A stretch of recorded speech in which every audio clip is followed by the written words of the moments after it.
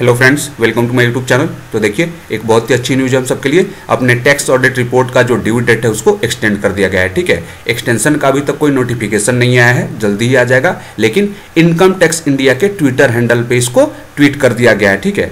तो income tax India का जो ट्विटर हैंडल है, वो ये है, और यहाँ पे देखिएगा, ये official account of the income tax department government of India तो यहाँ पे जो भी ट्वीट्स हैं, वो 100 परसेंट जेनविन है, सही है, ठीक है? इसमें कोई भी आपको गलत इन्फॉर्मेशन नहीं मिलेगी। जो भी यहाँ पे इन्फॉर्मेशन है, वो बिल्कुल सही है ऑफिशियल है, और डिपार्टमेंट की तरफ़ से है। तो क्या एक्सटेंशन है, कब तक एक्सटेंशन हुआ है, इसको देख लेते हैं। इसको थोड़ा सा हम लोग बड़ा करते हैं, और देखिएगा इन्होंने क्या ट्वीट किया है। बोल रहे हैं on consideration of representation received from across the country CBDT has decided to extend the due date for filing of ITRs and tax audit reports from 30th September 19 to 31st of October 19 in respect of persons whose accounts are required to be audited.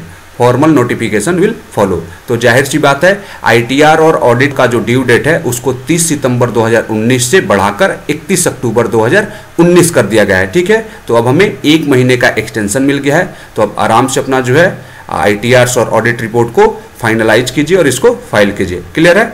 और notification जल्दी ही आ जाएगा और ये बातें बिल्कुल सही है, मुझसे लोग पूछ रहे थे तो इसके लिए कोई टेंशन नहीं लेना है। अपना एक महीने का एक्सटेंशन हमें मिल गया है। तो आई होप कि इस वीडियो से आपको काफ़ी हेल्प मिला होगा। तो अगर आपको मेरा ये वीडियो अच्छा लगा तो इसको लाइक कीजिए, मेरे चैनल को सब्सक्राइब कीजिए। Thank you thank you watching my video